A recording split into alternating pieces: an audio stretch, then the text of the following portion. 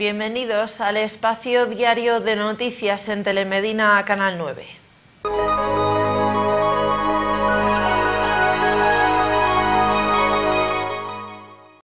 Servitrama Transportes te ofrece esta sección.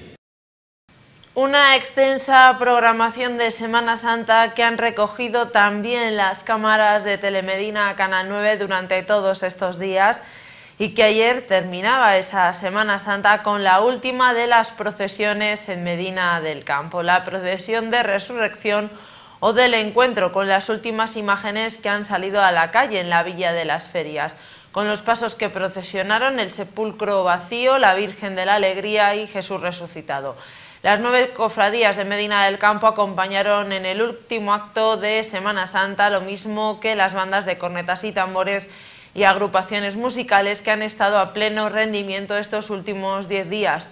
Termina así la Semana Santa 2017. La Junta de Semana Santa de Medina del Campo ha hecho valoración. Dicen una Semana Santa esta esplendorosa. El tiempo ha acompañado como hacía mucho que no lo hacía. La participación ha sido masiva y la asistencia de medinenses y forasteros a los actos y procesiones ha sido espectacular si lo comparamos con otros años anteriores. Tampoco han faltado los agradecimientos al Ayuntamiento de Medina del Campo, a la Diputación de Valladolid, a la Junta de Castilla y León, al Club de Empresas, a la Corporación Municipal, a la Brigada de Obras, a la Policía Municipal, Policía Nacional, Guardia Civil, Protección Civil y Cruz Roja, y también a asociaciones y entidades a título particular como el Coro Reina Isabel, Coral Voces Amigas o al Coro Gregoriano de la Colegiata de San Antolín. También han querido agradecer la labor de los coordinadores de las procesiones, de las cofradías en general de Medina del Campo, a las bandas y agrupaciones musicales, a los párrocos y sacerdotes y a los cofrades y las cofrades medinenses.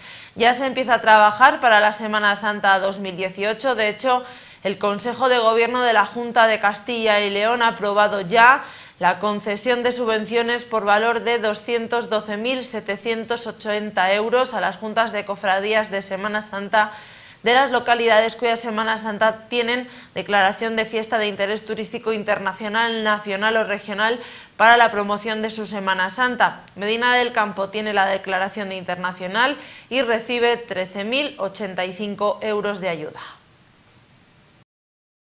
No despedimos del todo el ambiente Semana Santero en la Villa de las Ferias, puesto que para principios de mayo llega Mundo Cofrade y con él el que será el cuarto encuentro nacional de agrupaciones y bandas de Semana Santa San Vicente Ferrer. Por lo tanto, la música Semana Santera apenas tiene días de descanso.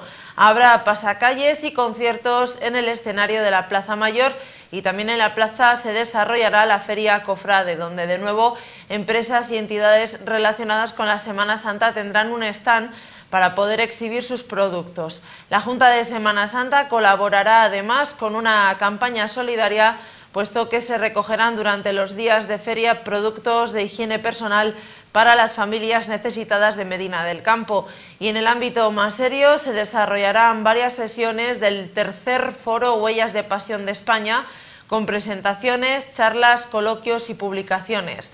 Se abrirán los recursos turísticos de Medina del Campo con horarios especiales y se harán también rutas guiadas. Durante la Semana Santa, la Policía Local de Medina del Campo ha desplegado un dispositivo especial de vigilancia y también de ordenación del tráfico. En cuanto a los incidentes que se han producido durante estos días, nos quedamos con la detección de un caso de alcoholemia con un consecuente accidente de tráfico. Se producía en la mañana del domingo. Fue detenido y puesto a disposición judicial un joven conductor que tras darse a la fuga en un control policial y recorrer a gran velocidad y de forma temeraria las calles de Medina, acabó colisionando contra otro vehículo estacionado a la altura del bar Puerta del Sol. Una vez realizada la prueba de alcoholemia, esta arrojó un resultado positivo duplicando el límite permitido, dio 0,58.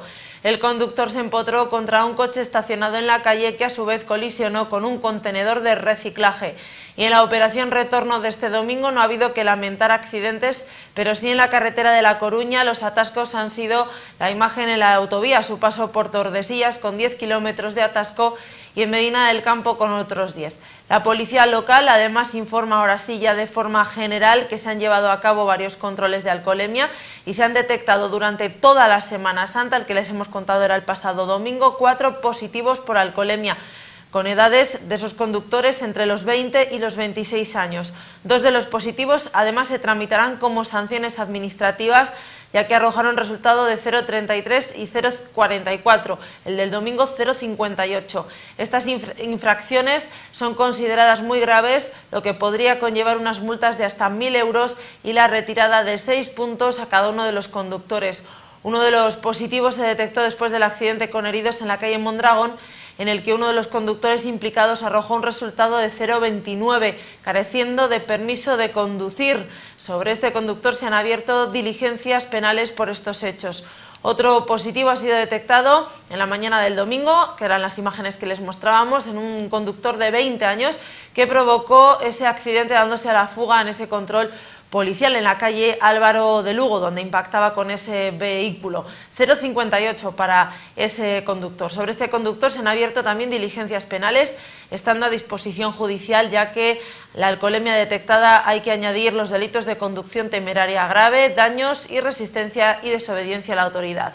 Desde la policía local se seguirán realizando acciones preventivas durante los fines de semana con la finalidad de evitar este tipo de conductas al volante. También se quiere informar que sobre las doce y media de la mañana del domingo se prestaba servicio en esos atascos que se producían en la autovía. Concretamente, aunque sin heridos, un accidente de tráfico en el kilómetro 54 en el sentido de Madrid.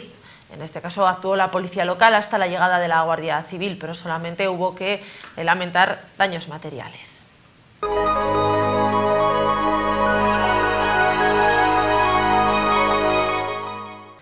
Además, este fin de semana los hosteleros han colgado el cartel de no hay habitaciones por dos cuestiones. Una por el turista que viene a ver Semana Santa y por otra el deporte, por la Iscar Cup. También ha traído a muchos seguidores y jugadores a la Villa de las Ferias. Una Iscar Cup que ha ganado el Real Madrid tras vencer en los penaltis al Rayo Vallecano después de un 2-2 en el marcador. En semifinales el Real Madrid superó al Villarreal y el Rayo al Barcelona.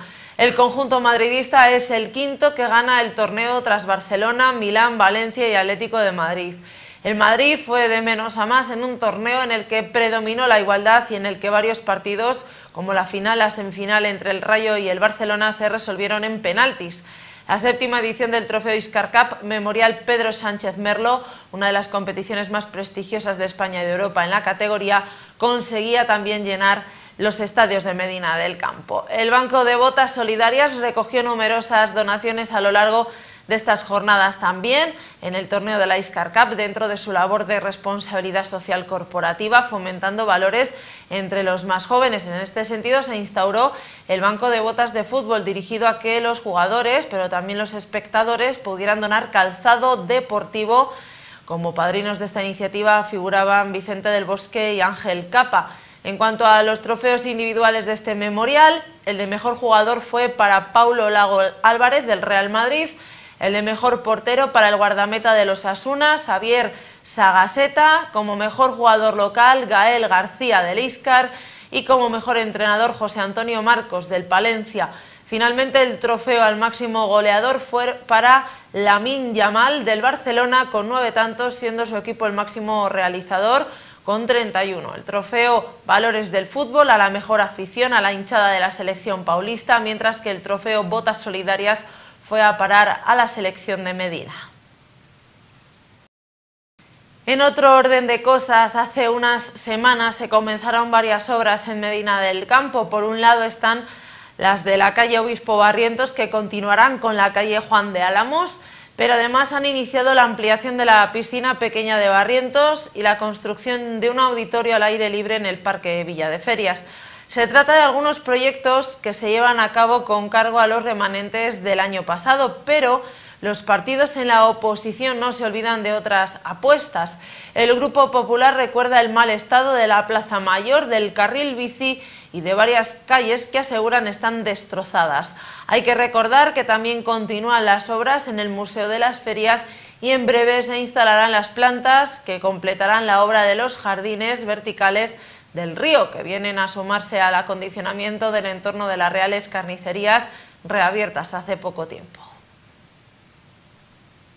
Y en Cultura, la Biblioteca Municipal celebra a partir de hoy los centenarios de Gloria Fuertes y José Zorrilla durante la Semana del Libro. La Concejalía de Educación y Cultura del Ayuntamiento, a través de la biblioteca, nos invita a participar del amplio programa que ha preparado para celebrar el 23 de abril, el Día del Libro, centrado este año en Gloria Fuertes y en José Zorrilla. Las celebraciones de estos centenarios se sucederán a lo largo de todo el año, arrancando los actos desde hoy en torno al Día del Libro, que será el día 23. El programa que se ha preparado para conmemorar dicho día y acercar la lectura y la figura de ambos escritores al público es el siguiente, con dos exposiciones, una sobre José Zorrilla y los románticos en la sala de adultos y la exposición de Gloria Fuertes y los niños en la sala de infantil. Además, actividades con los centros escolares, con visitas dinamizadas con los alumnos de tercero de primaria, con la actividad Lluvia de versos con Gloria Fuertes. En cuanto a actuaciones, hoy han comenzado ya algunos cuentacuentos, como Merendando con Gloria Fuertes, debido a Bichuela Cuentacuentos, que ha estado esta tarde en la biblioteca. Mañana será el turno para el Calabacín Errante, que presenta las aventuras y las desventuras de José Zorrilla y un taller de manualidades sobre seres fantásticos del romanticismo. Habrá más cuentacuentos, espectáculos para disfrutar en familia y sobre todo los más pequeños hasta el día 21.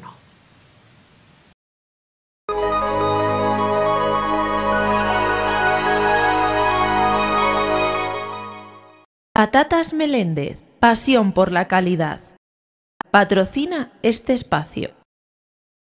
Castronuño acogió este sábado la segunda edición de la Carrera Popular del Mollete, una cita deportiva ligada al sábado de Semana Santa. Consta de dos carreras, la primera de 2,8 kilómetros que discurre por circuito urbano y la segunda de 9,8, además de recorrer las calles de Castro Nuño, recorre también el Parque de la Muela, el mirador privilegiado de la Reserva Natural Riberas de Castro Nuño.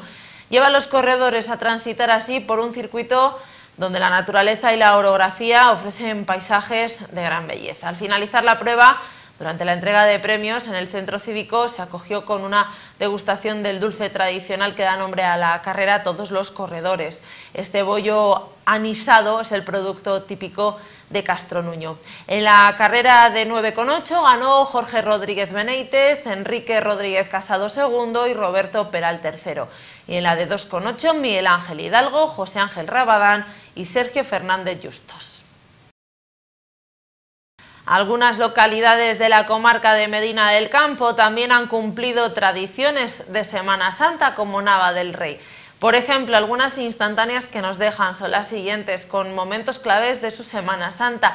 Por ejemplo, el Viernes Santo intenso, ya que los actos comenzaban desde las siete y media de la mañana con el Via Crucis, el lavatorio después, la crucifixión, los santos oficios, el descendimiento y por último ya por la noche la procesión general de la Pasión. Fue el día más ajetreado de procesiones en Nava del Rey que contó además con numeroso público asistente y turistas curiosos. También reseñar otras procesiones que forman parte ya de la tradición navarresa, como la procesión de la flagelación, o con ese respeto y recogimiento absoluto también la bonita procesión este año de la Veracruz o el pregón a caballo. Recordamos que hoy es lunes de meriendas en muchas localidades de la comarca, como por ejemplo hoy en Pedrajas de San Esteban, que se celebra la Virgen de Sacedón en Nava del Rey, por ejemplo, será el lunes de aguas el próximo lunes, el lunes de sobras, después de este miércoles que se celebra allí, el miércoles de los doblados. Y los centros turísticos de la Diputación de Valladolid han registrado durante estos días, desde el jueves santo hasta el domingo de resurrección, un total de 21.000 visitantes. Supone un incremento de casi el 14% con respecto a las cifras registradas en la Semana Santa del año pasado. Esta cifra supone un nuevo récord de visitantes en los centros turísticos dependientes de la Diputación. La Villa del Libro de Urueña encabeza el balance de visitas en la Semana Santa al alcanzar casi las 7.000 personas, seguida del Museo Provincial del Vino, situado en el Castillo de Peñaciel, que ha recibido un total de 4.200 visitantes. El tercer lugar lo ocupa el Centro de Interpretación de la Naturaleza de Matallana. Ha registrado unas visitas de en torno a las 3.500 personas. El Valle de los Seis Sentidos se ha colocado como el cuarto centro más visitado con casi 3.000 personas. Le sigue el Castillo de Fuensaldaña con 800 visitantes, el Canal de Castilla en Medina de Río Seco con otros 800 y el Museo de las Villas Romanas Almenarapuras con 750. Por último, el Museo del Panet Mayorga, al que han acudido estos días casi 300 personas.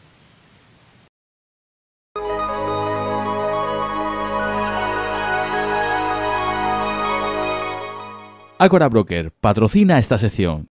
Y como todos los días hacemos el repaso a la prensa, comprobando los titulares y noticias que hablan hoy en las ediciones digitales de Medina del Campo y su comarca. Obviamente son muchos los titulares en los que aparece Medina hablando de la Semana Santa, pero hacemos un breve repaso a titulares que queremos reseñar en el informativo. Empezamos con nuestros compañeros de la voz de Medina. Medina del Campo, la procesión de resurrección puso fin a la Semana Santa 2017. La Consejería de la Presidencia convoca más de 3 millones y medio de euros destinados a proyectos de cooperación internacional para el desarrollo. El Parque Villa de Ferias presumirá de un auditorio al aire libre en tres meses. Medina del Campo, el PP renovó en su web los nombres de los concejales, pero mantiene a Chencho como alcalde. Medina del Campo mostró en Francia diversas ideas para la mejora de su centro urbano. La provincia, la Semana Santa se cierra con 10 muertos más, entre ellos un agente, en este caso recogiendo esas retenciones en Tordesillas y en Medina del Campo, en la autovía, en este domingo. La Nueva España, el Madrid se adjudica el Memorial Sánchez Merlo. La razón, retenciones kilométricas en las carreteras de acceso a Madrid y a Barcelona. Lo mismo que nos habla de las carreteras el norte de Castilla. La 6 acumula 29 kilómetros de retenciones en varios tramos. Noticias Castilla y León comienza la inscripción para el programa Conciliamos en verano de Medina. Y por último, el Marca, el Real Madrid se adjudica por primera vez la Iscar Cup.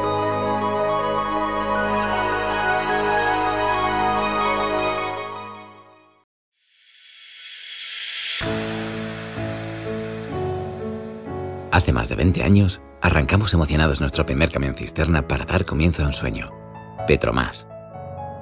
Y junto a un fuerte equipo hemos sido partícipes del día a día de nuestros vecinos, de sus hogares y de sus negocios. Desde Medina del Campo suministramos gasóleos A, B y C en toda la comarca, allí donde nuestros clientes lo necesiten. Mimando cualquier detalle, ofrecemos un servicio eficaz en el que confiar plenamente durante todo el año. Petromás es un gasocentro independiente y eso nos permite apostar por un servicio mucho más limpio y de mejor calidad. Desde 2012, analizamos nuestra huella de carbono con un triple objetivo. Reducir nuestro impacto medioambiental, aumentar nuestra eficacia y que este compromiso con la sostenibilidad pueda servir de ejemplo. El entorno lo es todo para nosotros, fuera y dentro. Creando una política de conciliación de vida laboral y personal fuimos seleccionados como una de las empresas familiarmente responsables de Castilla y León y, lo mejor de todo, contamos con un equipo humano profesional e ilusionado con cada cliente. Gracias a las personas que confían en nosotros, Petromás está presente en forma de energía positiva en cientos de hogares, negocios y nuevos trayectos. Juntos, somos más. Más calefacción. Más agrícola. Más automoción. Petromás. Energía positiva.